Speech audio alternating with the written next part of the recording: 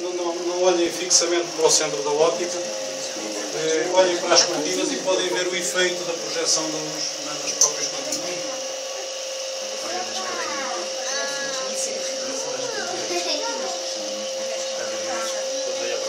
Estas abas laterais que temos aqui eh, têm uma razão de ser, é a lanterna, que é este espaço envolvente, é demasiado grande quando comparado com, com a ótica em si, com a ótica de frente.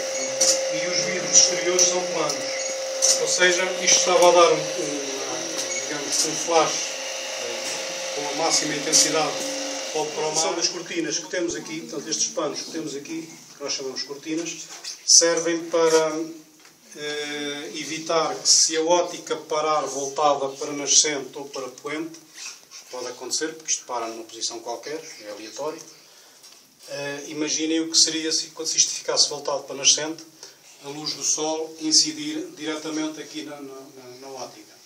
A luz do Sol, por natureza e devido à sua distância, os raios luminosos são paralelos, vamos considerá-los paralelos, vão se concentrar todos no foco da, da ótica e iria queimar tudo o que ali estava interior. Ou seja, ia fazer o inverso para que a lente foi construída. Daí, antes do. Agora, agora, agora é muito bem. Queres outra botão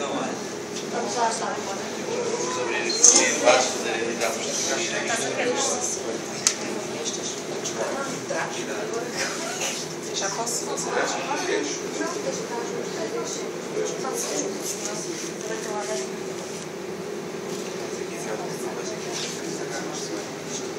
calhar deixa as escadas mais atrás.